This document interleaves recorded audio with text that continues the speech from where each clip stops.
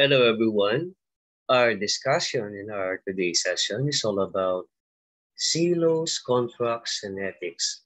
And this is just a continuation of our previous discussions.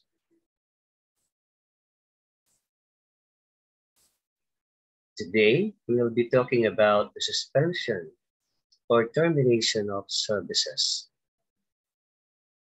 If circumstances arise for which the civil engineer is not responsible. And which make it impractical or impossible for the civil engineer to perform in whole or in part the services in accordance with the agreement, then the civil engineer shall promptly notify the client of the same. If by reason of the above mentioned circumstances, certain services as being suspended. The time for their completion shall be extended by the extent of the delay, plus a reasonable period for the resumption, or if the speed of performing certain services has to be reduced, the time for the completion shall be extended as is necessary by reason of the circumstances. The client may suspend all or part of the services or terminate the agreement by written notice of not less than 30 days to the civil engineer, who shall immediately decide to stop the services and minimize further expenditure. The civil engineer, by written notice of no less than 30 days, may terminate the agreement or if or at its end, or discretion without prejudice to the right to terminate, suspend the performance of the whole or part of the services under the following conditions. And here they. When 30 days after the due date of payment of any account, the civil engineer has not received payment of the part of it which has not by that time been contested in writing, or when services have been suspended for a period exceeding six calendar months, or if it is clear to the civil engineer that it will be impossible or impractical to resume the suspended services before the period of suspension has exceeded six months.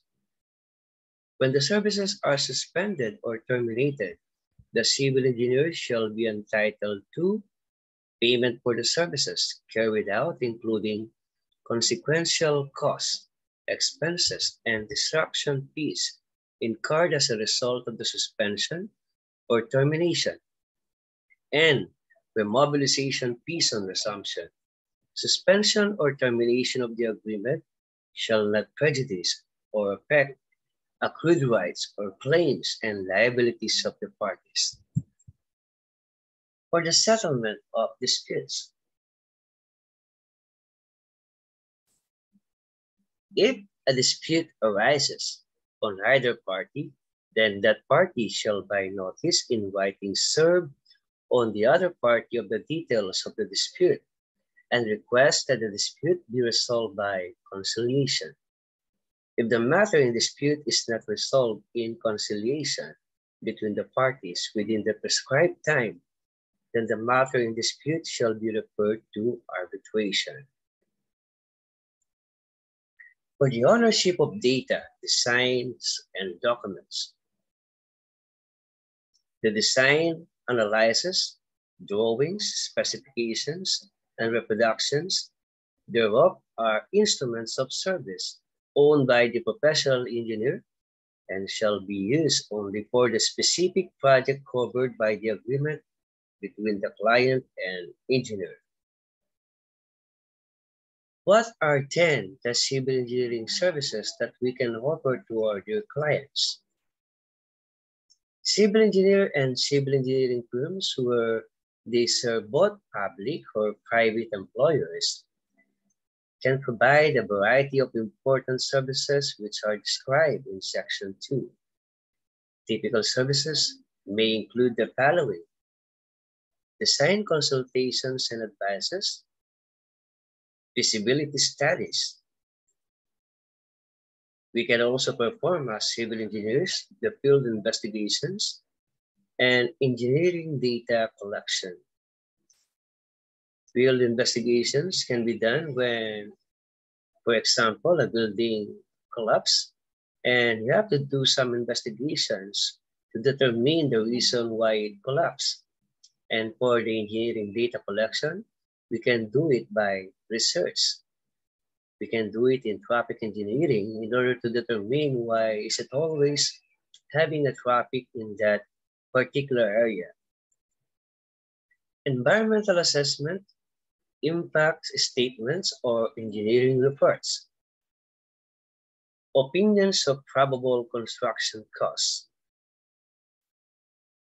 Preliminary and final designs, drawings, specifications, and construction bidding documents, just like what we're doing when we're providing a client the program of works including the methodology and the type of material that we will use in that particular project. Assistance in securing construction bids and in awarding contracts. Construction administration and observation. Arrangement for or performance of testing of materials and equipment that is why we're learning more about the material and testing. Assistance in startup, assessment of capacity and operations of facilities. Preparation of operation and maintenance manuals. Appraisals and rate studies. Value engineering. Expert testimony. Assessment of risk structural remediation or rehabilitation. In fact, we can also do demolition process and many more. Project management and controls. Provision, supplemental temporary staff. All of these are some among the civil engineering services that we can provide our dear clients and of course, we also have teaching. An engineer can perform teaching in the academy to serve students who are willing to be trained and receive skills in their education, especially in the field of civil engineering.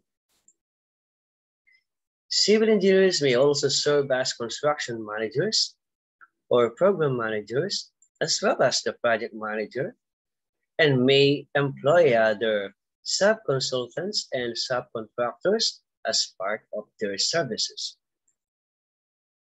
Many civil engineers and civil engineering firms specialize in specific areas of engineering, such as the structural and foundation, the technical and environmental, water resources, and of course, hydraulics.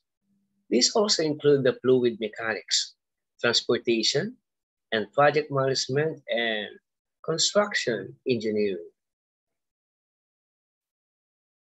Professional civil engineer firms draw upon the combined talents of various disciplines, such as economists, planners, engineers, and designers. We include also the estimators, the architects, scientists, technical analysts, specification writers, drafters, field representatives, surveyors, and others. The expertise of practitioners and specialists in other fields, particularly as the use of computers and computer-aided design, just like, for example, the AutoCAD, and drafting increases is also utilized. Not, not only AutoCAD, but also Midas and STAAD Likewise, civil engineers are employed by these practitioners to assist them in the performance of their respective services. The civil engineer provides services which may result which may result in the clients committing financial resources for construction of a proposed project. The suitability of the constructed project for the intended function must often be accepted at face value by the client, who may be unfamiliar with the technical and civil engineering aspects of the project. Thus, civil engineering services must be performed in a competent and efficient manner on a highly professional and ethical plane and in an atmosphere of mutual respect and trust. Project implementation has become increasingly complex, involving financial, environmental, regulatory, technical, and managerial matters. As a result, clients have opted to pursue a number of implementation approaches. One such approach is commonly called program management. The client retains a program manager or a general manager to perform specialized tasks necessary to the development or construction of a specific project. Alternatively, the client may retain a program manager to develop, define, and oversee the program. Also, to prepare budgetary estimates of program costs, prepare, evaluate, and select members of the program team, and provide periodic program status reports. In other cases, the program manager staff would in essence act as an extension of and interact with the client staff through the life of the program. In most cases, the client continues to be the contracting or contracting agent with all members of the program team, and the contractors are to construct the project. The project manager or the program manager is generally a civil engineer. Now let us have the following, the specialization in civil engineering. Within the practice of civil engineering, the PICE or Philippine Institute of Civil Engineers recognizes the six areas of specialization. Actually, this is happening at present. A civil engineer who has demonstrated his knowledge, experience, education, and training in accordance with the requirements of the concerned specialty committee of the PICE is awarded a certificate of specialization by PICE or PIC. Those awarded with the certificates are considered qualified for positions in their respective areas of specialization. And these are actually what PICE recognizes for. The PICE recognizes specializations in the fields of the following. At first, we have the structural engineering. That's why we have the structural engineers. This is actually a separate specialization. Upon graduation and passing the licensure examination, you may also choose to become a geotechnical engineer by specialization. Another specialization, you can become a water resources and hydraulic engineer. Transportation engineer in the field of transportation engineering. Construction management and engineering.